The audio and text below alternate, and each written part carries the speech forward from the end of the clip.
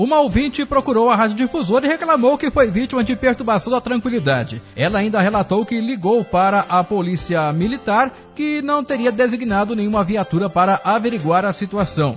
Essa reclamação foi levada ao comandante da 87ª Companhia da Polícia Militar, Tenente Sandro, que fez a seguinte justificativa. Olha, nós temos duas questões, a do crime ambiental e a da perturbação da tranquilidade. Na perturbação, nós temos que necessariamente ter uma vítima identificada no boletim de ocorrência. Muitas das vezes a pessoa liga e não quer se identificar. Então, compromete a efetivação das providências por parte da Polícia Militar.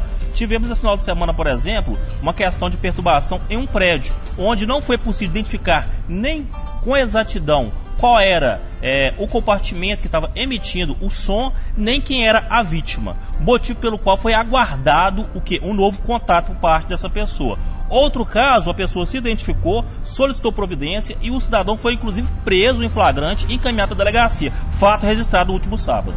Agora, tem a questão da patrulha de sossego também, que vocês realizam de forma constante, né? Sim, sempre que a gente tem a oportunidade, nós aí nos unimos juntamente com a Polícia Ambiental e a Polícia Civil através do setor de perícia e realizamos aí a patrulha do sossego, onde aí realmente tem um resultado muito bom. Agora, nosso papel maior é de conscientização e não de repressão. Isso que tem que ficar aí em pauta. Repórter Renato Oliveira.